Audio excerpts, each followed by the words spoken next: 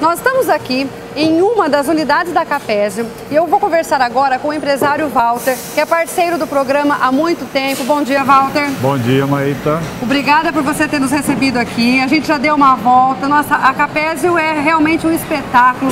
E eu queria que você falasse um pouquinho para os nossos telespectadores como é que surgiu a Capésio. Conta um pouquinho para a gente a história da Capésio. A Capésio fez a semana passada 40 anos. Nesses 40 anos, nós começamos num barracão com cinco funcionários. Na época, eu era diretor de uma multinacional, que é a Volkswagen. Em paralelo, desenvolvemos a Capésio. E com esses cinco funcionários, há 40 anos atrás, hoje, claro, saí da Volkswagen já tem 20 e tantos anos. Hoje nós temos 2 mil funcionários nas oito unidades industriais.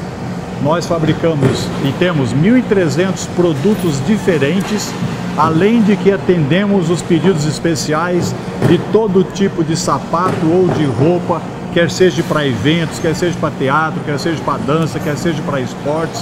Então, quer dizer, a nossa linha é amplíssima e nesses 40 anos, mais esses, fora esses 2 mil funcionários, nós temos 40 lojas distribuídas no Brasil inteiro, sendo uma no exterior.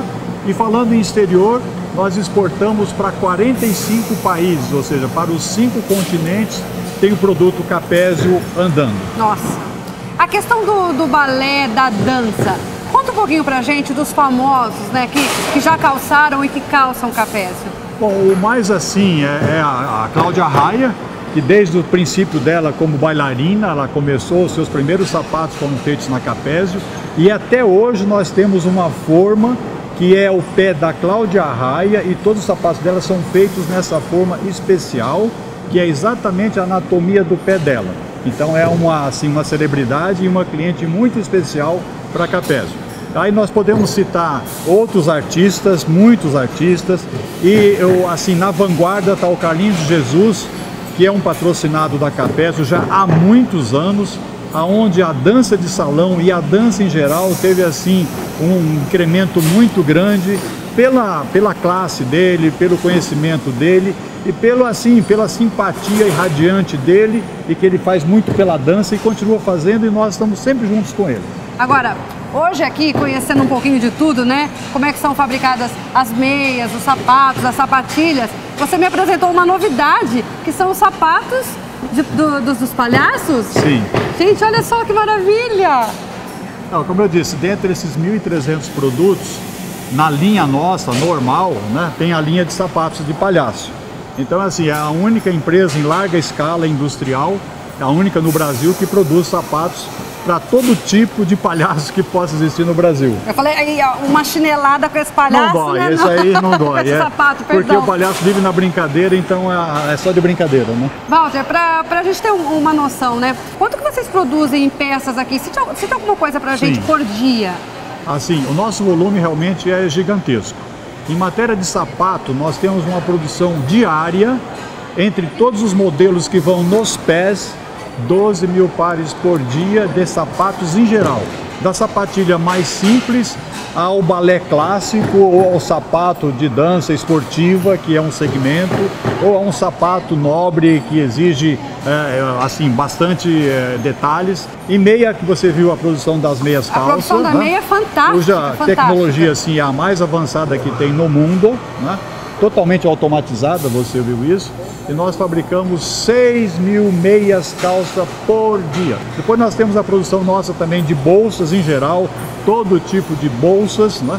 Então dá uma Lindas. produção de 600 bolsas por dia. Agora você, como é que é a sua vida? Você pratica uma atividade física ou você só faz com que as pessoas pratiquem uma atividade física com os seus produtos? Eu trabalho assim, não vou dizer 24 horas por dia porque tem horário de repouso. Então, quer dizer, o trabalho está no meu sangue. Agora, para você ter uma eficiência nesse trabalho, você tem que ter toda uma dotação física, mental e espiritual para fazer o conjunto todo. Então, por isso que aí eu sou um praticante de, de esportes e ginástica, né, para poder deixar o corpo de bem com o físico e com a mente. E outro segredo que eu contaria para a gente poder ter uma performance dentro desse, desse aspecto todo é a parte de religião. Eu acho que a pessoa tem que ter a, a devoção dela Sem a Deus, dúvida. eu sou um cristão, Então a devoção tem que estar em primeiro lugar, né? a família em segundo lugar, o trabalho em terceiro lugar, o esporte em quarto lugar, a religião, a religião em primeiro lugar.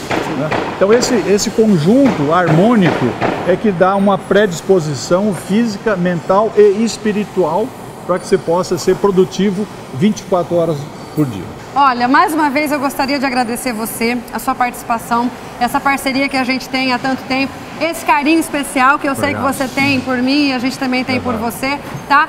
E a gente fica por aqui. Sábado que vem tem muito mais. Siga o exemplo do Walter, ouça o que a gente fala todos os sábados, pratique uma atividade física, tem uma religião, tem uma religião em primeiro lugar, né? Primeiro e depois lugar. toda a sequência dele. Verdade. Walter, muito obrigada, tá bom? Obrigado você. Você gostaria de deixar algum recado? Não, eu quero, quero deixar assim como esse aconselhamento, né? É um aconselhamento para todos que querem ser ativos na vida, que realmente sigam essa receita, que é uma receita assim, eu acho que ela é universal para aqueles que querem estar de bem com a vida, de bem com os outros e de bem com Deus. É isso aí. Até sábado, eu espero por você. Um beijo até lá. Tchau, tchau.